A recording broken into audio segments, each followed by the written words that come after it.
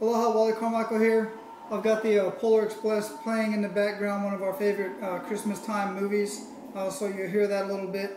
I'm going to show you the healthiest smoothie to mix up with the NutriBullet. This is the newer version of the NutriBullet.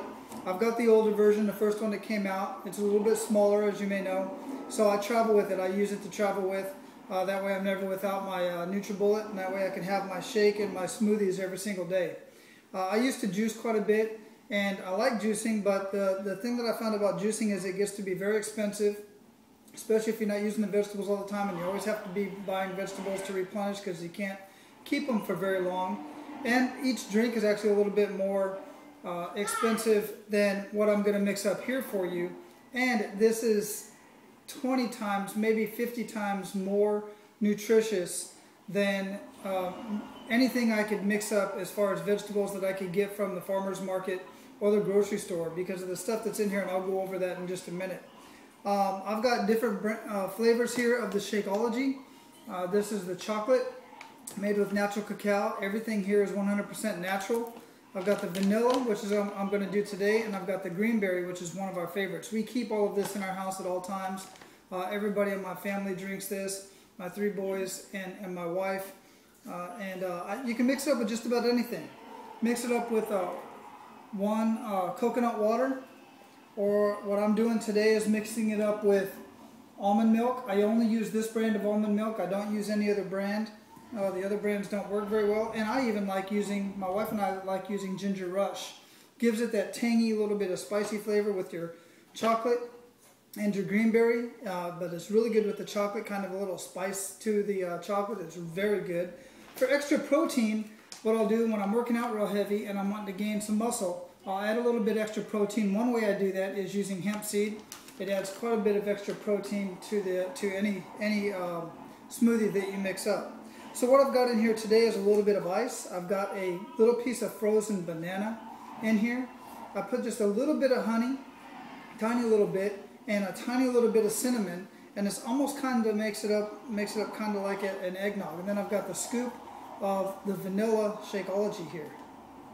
So I'm going to mix that in and go ahead and mix this up real quick.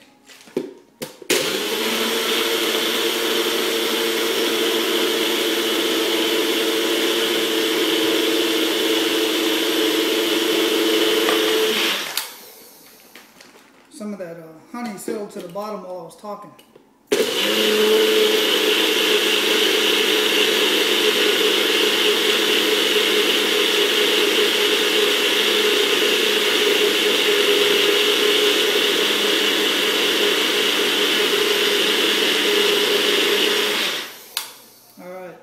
So normally I mix it up just a little bit more, and I do, you can mix this up in a shaker cup uh, without all the other ingredients, uh, but if you can, if you have the time or you have the uh, blender or the bullet, go ahead and mix it up just like that.